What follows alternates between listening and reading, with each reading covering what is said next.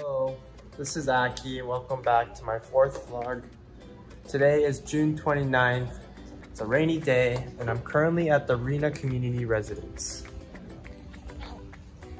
What you're seeing here is a apartment style community garden with over a hundred containers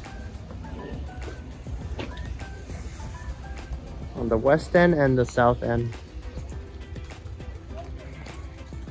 When you go out for watering, uh, keep an eye out for some of the radishes and green onions if you have any in, in your containers as they may be ready for harvest.